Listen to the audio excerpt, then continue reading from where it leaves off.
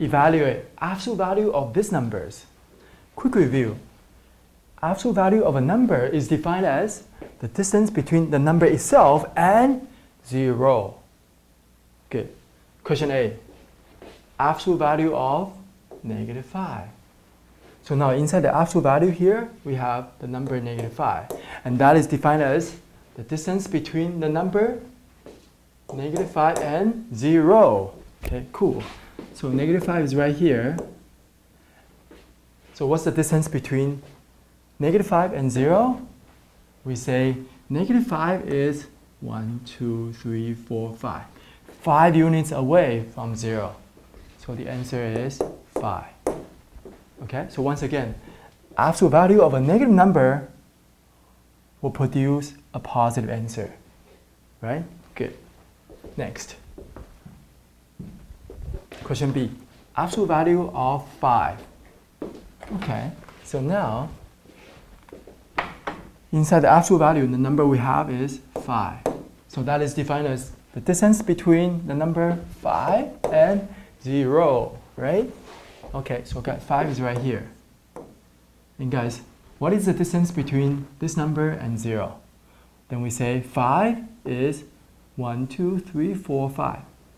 5 units away from 0. So the answer here is also 5. Okay? So now we know that absolute value of a positive number is just a number itself. Okay? In fact, we don't need to make any changes, right? absolute value of a number is just the number itself. Good. Next.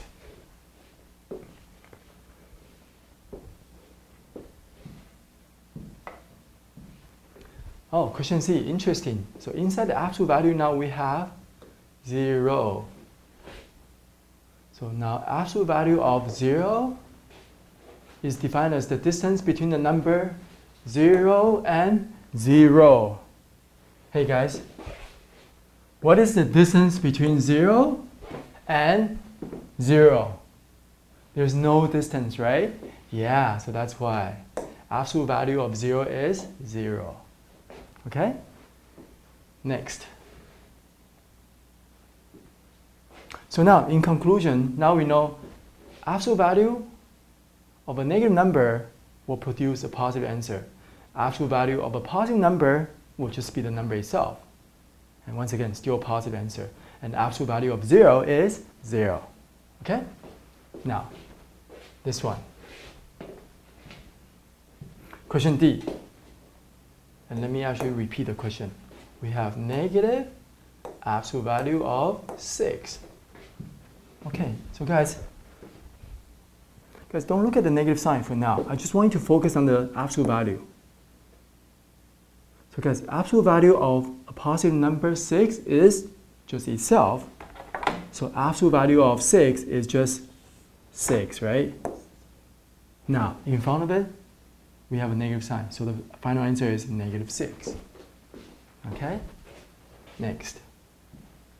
Question E. Okay, let me repeat the question again. We have negative absolute value of negative 6. Okay? So once again, guys, just focus on the absolute value first. What's the absolute value of a negative number? Well, we're going to get a positive answer, right? So absolute value of a negative number, so in fact here, absolute value of negative 6 is positive 6, right? It's positive 6. Now, in front of it, we have a negative sign. So the final answer is negative 6. Okay? Good. Now, how about this one here? Question F. Guys, here we are adding two absolute values, right? Now, what's the absolute value of a positive number? It's just the number itself, which is 3. Now, what's the absolute value of a negative number? Well, now this absolute value will give us a positive answer, right? So absolute value of negative 3 is positive 3, right? So at the end we have 3 plus 3, that's 6. Okay? Cool. Now, next. here we have absolute value of because inside the absolute value we have 2 minus 9. What's 2 minus 9? Negative 7, right? Now, absolute value of a negative number will give us a positive answer. So the answer is positive 7, right? Good. Last question.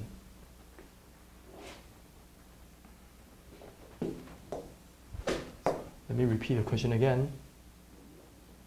Here we have negative absolute value of negative square root of 16 and absolute value. Okay?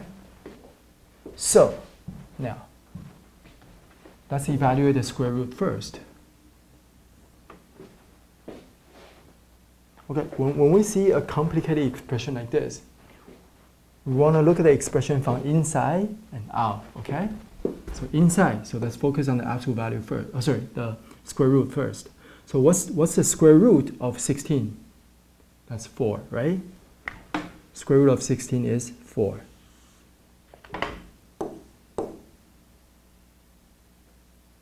Now, okay, so now, look at this. Guys, now focus on the absolute value here. What's the absolute value of a negative number? We're gonna get a, a positive answer, right? So absolute value of negative 4 is positive 4. And now in front of it, we still have a negative sign. So the final answer is negative 4. Okay? Guys, some of you guys might be wondering, isn't square root of 16 plus minus 4? It's not, guys.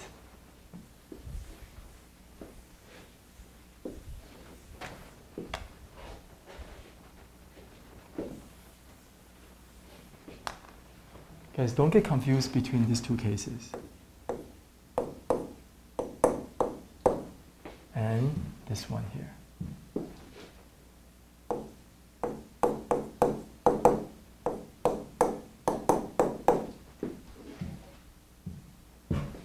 Because these two cases are totally different. Let me actually start with this case first. Okay, so guys, to solve, if x squared equals 16, to solve for x, well guys, to solve for x, to get rid of the square on the left side, we need to add square root on the right side, right? And now here we have 16. And guys, remember, in front of the square root, we gotta put plus minus, right? Because now, now we know the final answer is plus minus 4. We have two answers for x, right? It, it, it, actually totally makes sense because, guys, check this out. So that means here x can be 4 and x can also be negative 4. And let me show you why we should have two answers. Because, guys, look, if x right here, we plug in 4. Guys, what's 4 squared? 16. See, that's good. Now, can we also plug in x as negative 4? Let's see. Plug in x as negative 4. Guys, what's negative 4 squared? Well, negative 4 squared is negative 4 times negative 4, right? Because square, square means you multiply the number itself twice, right? And guys, look, Negative times negative, we still get positive, right? So positive 16. So negative 4 squared is also 16, see? So this answer is also good. So to solve for x right here, so once again, to solve for x right here, we should expect to have two answers. Okay, guys? Now, this is different though. For this case right here, question is simply asking you to solve for square root of 16. And square root of 16 is just what? 4. Okay? Now, now what's negative square root of 16? Look guys, So check this out, guys. So now once again, square root of 16 is 4, right? But good guys, don't forget, in front of the square root we have a negative sign. So that's negative 4. So guys, so square root of 16 is 4. Negative square root of 16 is negative 4.